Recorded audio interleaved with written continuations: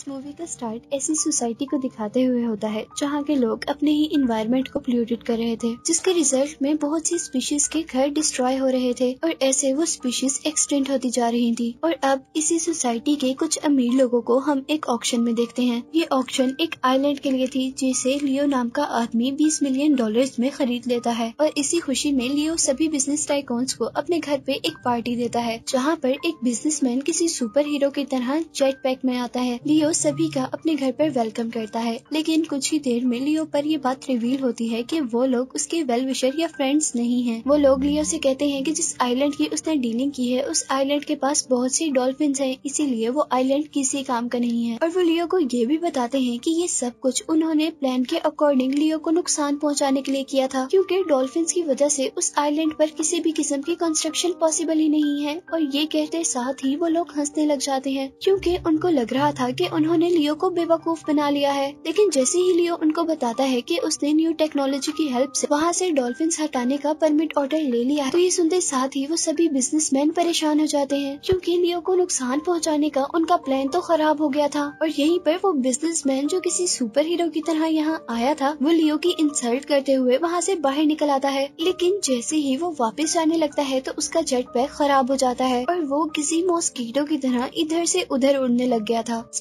Party में आए हुए सब लोग जो लियो पर हंस रहे थे, वो अब मायूस हो चुके थे। पर लियो अब किसी को भी बॉदर किए बगैर अपनी पार्टी इंजॉय करने लग जाता है। और तभी एक बिज़नेस वुमन लियो से रिक्वेस्ट करती है कि वो लियो को उसके न्यू प्रोजेक्ट में पार्टनर बना ले। और लियो उसकी ये रिक्वेस्ट एक्सेप्ट कर लेता है। वो लोग अपनी न्यू पार्टनरशिप को सेलिब्रेट कर रहे होते हैं कि उनकी सेलिब्रेशन एक अजीब मेकअप वाली लड़की इंटरप्ट करती है, जिसका कहना था कि वो लियो से मिलना चाहती है। लेकिन लियो के गार्ड्स उसे लियो से दूर ले जाते हैं। लेकिन फिर उस लड़की के शोर मचाने पर लियो उसके पास आता है और वो लियो को अपना नंबर देती है। ये कहकर कि जब भी लियो उससे मिलना चाहे तो वो इस नंबर पर कांटेक्ट कर सकता है। लियो के लिए ये सिचुएशन एम्बेरसिंग थी, लेकिन वो उसका नंबर लेकर उसे यहाँ से भेजने को कहता है। इसके बाद हम देखते हैं कि वो लड़की अपने स्केट बोर्ड पर शायद अपने घर जा रही है और हमें पता चलता है कि उस लड़की का नाम शॉन है। लेकिन यहाँ वो लियो के लिए हुए आइलैंड के करीब एक बोट पर आई थी, जहाँ से हमें पता चला था कि शॉन एक मरमेड है और जिस बोट पर शॉन आई थी, इस बोट पर बहुत से मरमेड फंसे हुए थे, क्योंकि लियो ने अपने आइलैंड के करीब डॉल्फिन जैसी मैसिव क्रिएचर को दूर करने के लिए कुछ मशीन्स रिलीज़ की थी, जो कि सोनार वेव्स रिलीज़ करती और इन सोनार वेव्स की वजह से डॉल्फिन तो वहाँ से चली गई थी। इन बहुत से मरमेड्स मर गए थे, और जो लोग बच गए थे, वो मजीद अपनी जान बचाने के लिए इस बोट पर फंसे हुए थे। मरमेड्स का लीडर ऑक्टोपस अब लियो को मारने का प्लान करता है, क्योंकि उसके मर जाने से उसका प्रोजेक्ट रोक दिया जाएगा और इस तरह सुनार पानी से निकाल लिए जाएँगे, और उनका घर उन्हें वापस मिल जाएगा। और इस काम के लिए वो अपने ग्रुप की मोस्ट ब्यूटीफुल गर्ल शॉन को सिलेक्ट करते हैं, जो लियो को अपने ट्रैप में फंसा कर उसे मार सके। सीन्स लियो की तरफ़ शिफ्ट होते हैं, जो कि अपनी न्यू बिज़नेस पार्टनर के साथ। और वो लड़की लियो को ये कहकर नीचा दिखाने की कोशिश कर रही थी कि लियो तो एक आम फैमिली से बिलोंग करता है, जबकि वो लड़की एक रॉयल फैमिली से बिलोंग करती है। इसीलिए उन दोनों का कोई मैच नहीं है। ये बात सुनते ही लियो को बहुत ज़्यादा गुस्सा आ जाता है, और वो फ़ौरन शॉन से कांटेक्ट करता है, और उसे कहता है कि तुम्हें दो घंटे में यहाँ से पिक कर लिया जाएगा।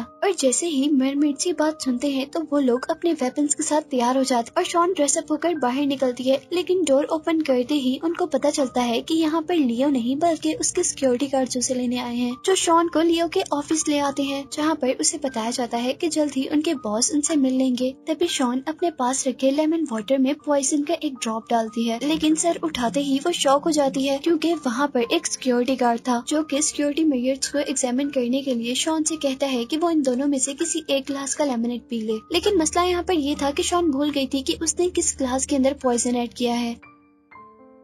और अब वो डरते हुए लेमनेट का ग्लास उठाती है और वो पी लेती है। अचानक उसके फेस एक्सप्रेशन चेंज होना शुरू हो जाते हैं। लेकिन कुछ ही सेकंड बाद हमें पता चलता है कि उसके मुँह में लेमन का एक पीस जिसकी वजह से शायद उसके फेस एक्सप्रेशन चेंज हुए थे। लेकिन दूसरी तरफ़ जो ग्लास सिक्योरिटी गार्ड के पास था, उसके अंदर पॉइजन था। सिक्योरिटी गार्ड वहीं पर बेहोश हो जाता है। शॉन घबरा कर उठती है और सिक्योरिटी गार्ड के मुँह में अल्कोहल डालकर उसकी जान बचाती है। इसी सब के दौरान अब शैन को लियो नज़र आता है और वो उसका पीछा करना शुरू कर देती है, ताकि वो अपने टारगेट टारगेट को मार सके और अब वो लियो पर सी अर्जुन से अटैक करने वाली थी। लेकिन लियो को मारने के बजाय उल्टा उसी के सर पर एक क्लॉक लग जाता है, जो कि लियो ने गुस्से में दूर से फेंका था और इस तरह वो गिर जाती है। इसके बाद अब सेकेंड टाइम शॉन सी अर्जुन लियो को मारने की कोशिश करती है, लेकिन वो ये नोटिस नहीं कर पाती की सामने एक ग्लास वॉल है और इस तरह वो सी अर्जुन उसी के हेड पर अटैच हो जाता है। पर शॉन हार नहीं मानती और वो एक और मरतबा डोर के पीछे से सी अर्जुन से लियो पर अटैक करती है और इस मरतबा डोर खोलने की वजह से वो सी अर्जुन उसके फेस पर अटैच हो जाता है। अब उन अर्जुन की वजह से उसकी अपनी बॉडी भी पॉइजनस हो रही थी, लेकिन वो हर हाल में अपना मिशन कंप्लीट करना चाहती थी, इसीलिए वो अपने टारगेट यानी लियो पर टेबल के नीचे से अटैक करती है। पर यहाँ लियो डांस करना स्टार्ट कर देता है, जिसकी वजह से शॉन का हर अटैक जाया चला जाता है। उल्टा लियो का ही पाँव शॉन के हाथ पर रखा जाता है, जिससे उसे बहुत ज़्यादा पेन होने लग जाता है। और शॉन अपना हाथ छुड़वाने के लिए जैसे ही लियो के फुट को स्टैप करने वाली होती है तो लियो अपना फुट उठा लेता है, और इस तरह उसका अपना ही हाथ जख्मी हो जाता है। लियो इस सबसे थक चुकी थी और उसे अब बहुत ज़्यादा गुस्सा आ रहा था। और अपनी फ्लाइंग मूवमेंट्स का यूज़ करते हुए अब लियो पर अटैक करती है और यहाँ लियो की गोल्फ स्टिक उसके फेस पर पड़ती है और वो बेहोश हो जाती है। लियो अपने पीछे एक लड़की को बेहोश देखकर बहुत ज़्यादा डर गया था, लेकिन कुछ ही देर में अब लियो को बहुत ज़्यादा गुस्सा आ गया था और वो शॉन को बहुत सारे पैसे देता है ताकि वो उसकी जान छोड़ दे। पर शॉन लियो से कहती है कि मुझे तुम्हारे पैसों की बिल्कुल ज़रूरत नहीं है, जिसे सुनते ही लियो कंफ्यूज हो जाता है और वो उसे कहता है कि तुम हो, मैं तो कभी तुमसे मिला भी नहीं तो फिर तुम मेरे पीछे क्यों पड़ी हुई हो? और वो शॉन को छोड़कर यहाँ से जाने ही वाला होता है कि अचानक वो पीछे मुड़ता है और शॉन के साथ ऐसा बिहेव करने लग जाता है जैसे शॉन उसकी गर्लफ्रेंड हो। और जैसे ही लियो के पीछे से बिज़नेस पार्टनर आती है तो हमें पता चल कि ये सब वो उस लड़की को दिखाने के लिए कर रहा है। और लियो शॉन को लेकर यहाँ से बाहर चला जाता है। अब लियो और शॉन दोनों को हम एक कार में देखते हैं, जहाँ शॉन को भूख लग जाती है और वो लियो को एक स्ट्रीट रेस्टोरेंट पर लेकर आती है। लियो को पहले तो गुस्सा आता है और वो यहाँ पर खाना खाना नहीं चाह रहा था, लेकिन फिर उसे भी भूख बहुत ज़्यादा लगी थी और वो दोनों यहाँ पर खाना खाने लग जाते हैं। अब खाना खाने के बाद सरप्राइजिंगली लियो बहुत ज़्यादा इमोशनल हो जाता है और शॉन के पूछने पर वो बताता है कि बचपन में वो बहुत ज़्यादा गरीब थे और वो लोग ऐसा खाना चोरी करके खाया करते थे। वो शॉन को बताता है कि उस दिन मैंने अपने आप से वादा कर लिया था कि मैं इस शहर का सबसे अमीर आदमी बनूँगा। लेकिन शॉन यहाँ कहती है कि ये तो तुम्हारी सोच गलत थी, क्योंकि मनी ही सब कुछ नहीं होती। वो लियो को एक इमोशनल सी स्पीच देती है, जिससे लियो बहुत ज़्यादा खुश हो जाता है और वो अब शॉन के लिए मिलियन डॉलर का चेक साइन करता है। लेकिन शॉन वो चेक जाकर जला देती है और उसे कहती है कि उसी के चेक नहीं चाहिए क्योंकि उसके लिए पैसे का कोई मतलब नहीं है। वो कहती है कि मैं तुम्हारे साथ इसलिए हूँ क्योंकि मैं तुम्हें पसंद करती हूँ और साथ ही शॉन लियो के लिए गाना गाना शुरू कर देती है। और ये देखकर कि शॉन और लियो का म्यूज़िक टेस्ट एक ही है तो लियो भी उसके साथ गाना गाना शुरू कर देता है। पर अचानक शॉन अपनी मरमिट वॉइस में गाना शुरू कर देती है, जिसकी वजह से इर्द गिर्द सभी कांच की चीज़ें टूट जाती हैं और लियो की नकली मूछे भी उतर जाती हैं।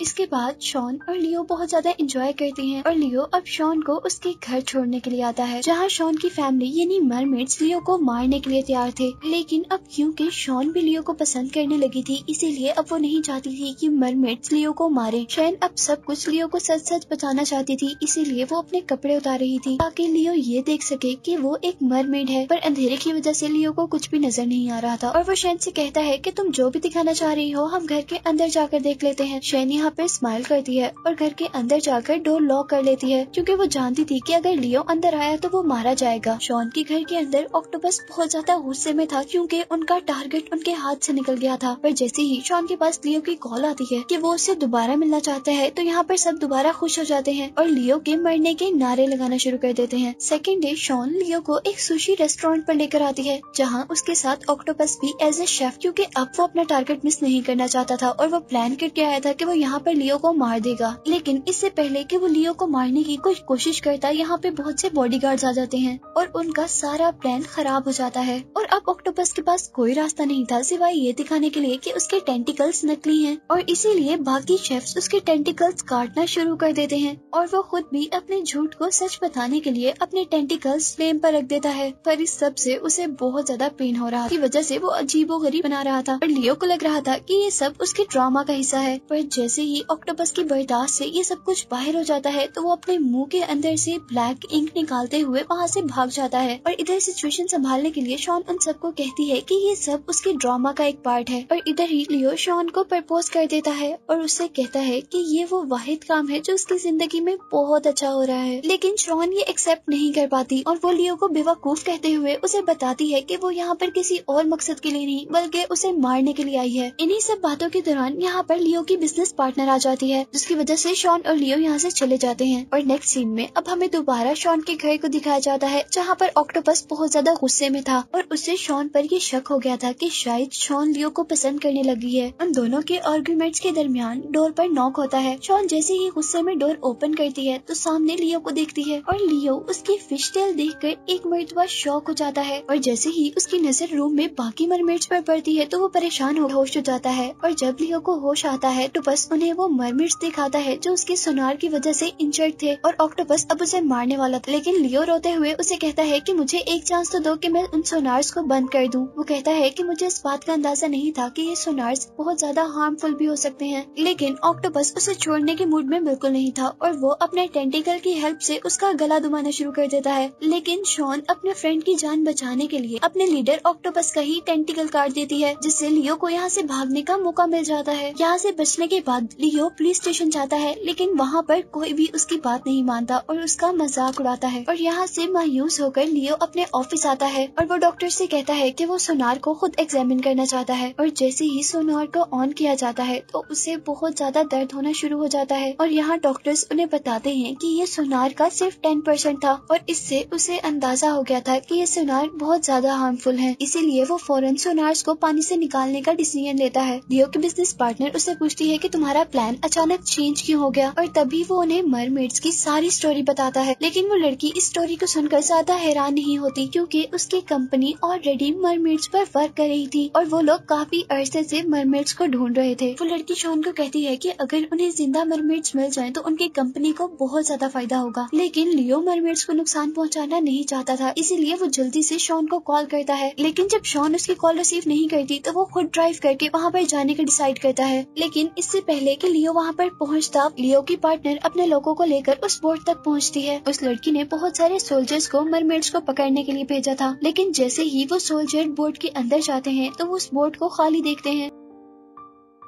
पर पानी के अंदर जाने पर उन्हें पता चलता है कि सारे मरमेड्स पानी के नीचे छुपे हुए हैं और वो सभी बहुत बेदर्दी से मरमेड्स पर पानी में फायर करना शुरू कर देते हैं। जो फायर्स बहुत से मरमेड्स को लगते हैं और पानी ग्रीन से रेड होना शुरू हो जाता है। उन फायर से बचने के लिए वो मरमेड्स पानी से बाहर निकल कर आती हैं, जिन्हें वो लोग बेदर्दी से मारते हुए बैग्स में बंद कर देते हैं, जैसे वो फिशेज से ज़्यादा कुछ भी नहीं है और अब शैन पानी से बाहर निकलती है और वो सोल्जर से लड़ते हुए उनकी के ऊपर गिर जाती है और इससे पहले कि वो सोल्जर उसको कुछ नुकसान पहुंचाते, यहाँ पर ऑक्टोपस उसे बचा लेता है और अपने टेंटिकल्स का यूज़ करते हुए उसे बोट से बाहर गिराने की कोशिश करता है। लेकिन इससे पहले कि शॉन इस बोट से बाहर निकलती, इंसान इस बोट की एंट्रेंस पर एक ट्रैप बिछा देते हैं, जिसकी वजह से वो वापस बोट में गिर जाती है। लेकिन अब इससे पहले कि वो लोग शॉन को मारते, पानी की बहुत बड़ी वेव उन इंसानों को अपने साथ बहा लेती है। और यहाँ पर हम उस ओल्ड मरमेड को देखते हैं, जो अपने बड़े बड़े फिन्स की हेल्प से पानी में वेव्स क्रिएट कर रही थी। इन वेव्स से इंसानों पर अटैक कर रही थी, पर दूर खड़ा हुआ सोल्जर अब उस मरमेड पर पीछे से अटैक करता है, जिसकी वजह से वो पानी के अंदर जंप करती है। और यहाँ पर उसे फील होता है कि सोनार्स अब वर्क नहीं कर रहे, और वो सभी मरमेड्स को ओशन के अंदर जाने का कहती है। और ऐसे बहुत सारे मरमेड्स बचने में कामयाब हो जाते हैं, लेकिन ओशन की तरफ़ जाते हुए चौन पर वो लोग अटैक कर देते हैं। लेकिन इस अटैक के बावजूद वो अपनी सारी एनर्जीज को इकट्ठा करके पानी में दूर जा रही थी, लेकिन हेलीकॉप्टर से लियो की वो बिज़नेस पार्टनर शैन पर अटैक करती है, जिसकी वजह से पानी में एक ब्लास्ट होता है। और यहाँ दूसरी तरफ़ हम लियो को देखते हैं, जो कि ट्रैफ़िक में फंसा हुआ था। और वो जल्द से जल्द शॉन के पास पहुँचना चाहता था। यहीं पर शॉन जो कि पानी से बाहर थी, उसे लियो की पार्टनर मारने का ऑर्डर देती है। और लियो को इस ट्रैफ़िक में अपना एक बिज़नेस राइवल नज़र आता है, जिसे हमने जेट पैक में आते हुए मूवी के स्टार्ट में देखा था। इससे पहले कि लियो के बिज़नेस पार्टनर शैन को कोई नुकसान पहुंचाती लियो उस बिजनेसमैन के जेट पैक में किसी हीरो की तरह यहाँ आता है। और वो अपने फ्रेंड को बचाने की कोशिश करता है, लेकिन लियो लियो की पार्टनर उस पर भी अटैक कर देती है और वो अपनी बॉडी में तीर होने के बावजूद शॉन को पानी के अंदर रिलीज़ कर देता है और खुद वहीं पर गिर जाता है और इतने में ही यहाँ पर पुलिस आ जाती है। और सीन यहीं से कट होकर अब हमें दोबारा लियो को उसके घर पर दिखाया जाता है और यहाँ लियो का इंटरव्यू लेने के लिए कोई जर्नलिस्ट आया हुआ था जो की लियो से मरमेड्स के बारे में पूछ रहा था। लियो ज़ोर से हंसता है और उसे बताता है कि मरमेड्स तो सिर्फ़ कहानियाँ हैं जो कि इंसानों ने बनाई हुई हैं और तभी यहाँ पर शॉन इंसानों के होलिये में आती है और लियो उसे जर्नलिस्ट से मिलवाता है। मूवी के लास्ट सीन में अब हम लियो और शैन को समुन्दर के अंदर देखते हैं, जहाँ पर शॉन अपने हस्बैंड को पानी के अंदर की ब्यूटी दिखा रही थी और आखिर मरमेड्स की लाइफ भी सेफ़ हो ही गई थी और यही दिखाते हुए ये मूवी एंड हो जाती है।